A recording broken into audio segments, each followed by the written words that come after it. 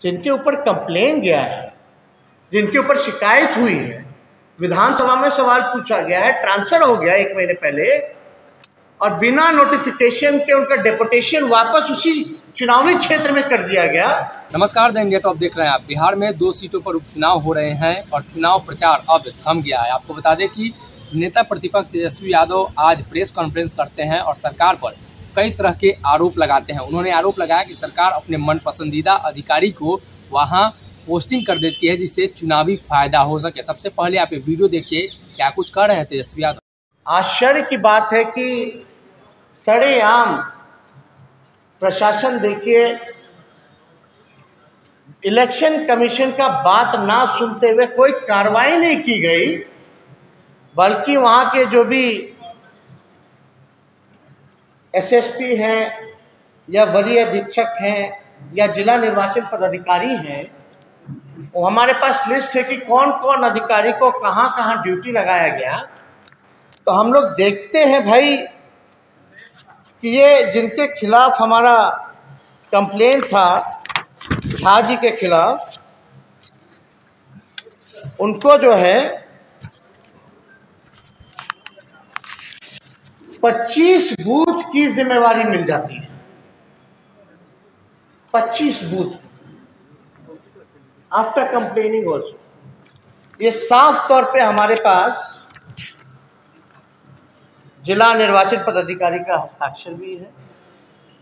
यानी election commission को भी दरकिनार करके बिना रिपोर्ट के, बिना कार्रवाई के, बिना सुनवाई के नियमानुसार तो उनको होना ही नहीं चाहिए और आश्चर्य की बात यह है कि डेपुटेशन उनका एक महीने एक महीने पहले ट्रांसफ़र होता तो डेपुटेशन वापस दरभंगा जो लाया जाया गया, उसका भी कोई नोटिफिकेशन होना चाहिए?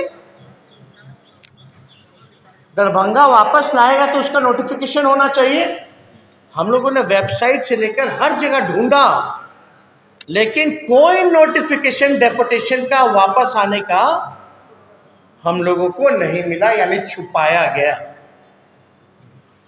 अब आप देखिए, दिलीप कुमार झा जी को उजुआ और तिलकेश्वर में जो है प्रभार दिया गया भूतों का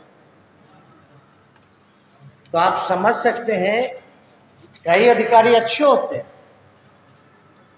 लेकिन जिनके ऊपर कंप्लेन गया है, जिनके ऊपर शिकायत हुई है विधानसभा में सवाल पूछा गया है, ट्रांसफ़र हो गया एक महीने पहले, और बिना नोटिफिकेशन के उनका डेपुटेशन वापस उसी चुनावी क्षेत्र में कर दिया गया।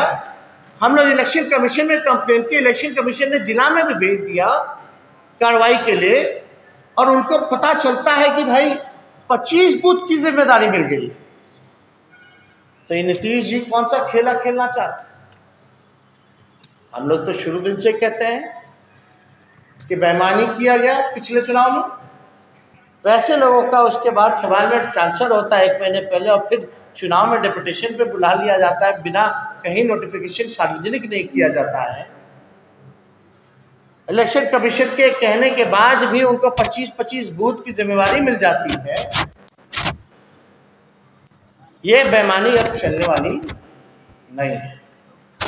हम लोगों की नज़र हर एक तरफ़ ये तो लोकतंत्र की हत्या कराने की कोशिश की जा तो देखा आपने किस तरीके से तेजस्वी यादव ने सरकार पर आरोप लगाया है और कहा है कि सरकार इसमें चोरी करना चाहती है, वोटों की चोरी करना चाहती है, ऐसे अधिकारियों को वहाँ रखकर जो उनके मन पसंदीदा अधिकारी है, जो उनके लिए काम करते हैं, इस तरह का आरोप उन्होंने लगाया है। साथ ही साथ उन्होंने रोज़गार के मुद्दे पर भी सरकार को घेरा है और कहा है कि सरकार और बिहार की सरकार जो नीतीश कुमार है, काफ़ी शर्मीले हैं। रोज़गार पर बात करने में उन्हें शर्म आती है। हालाँकि अब चुनाव प्रचार थम चुका है। तो देखने वाली बात यह होगी कि दो तारीख को परिणाम क्या कुछ निकल कर सामने आता है। जो कुछ भी अपडेट होगा हम आपको देंगे। आप बन रही हमारे साथ। तब तक के लिए नमस्कार।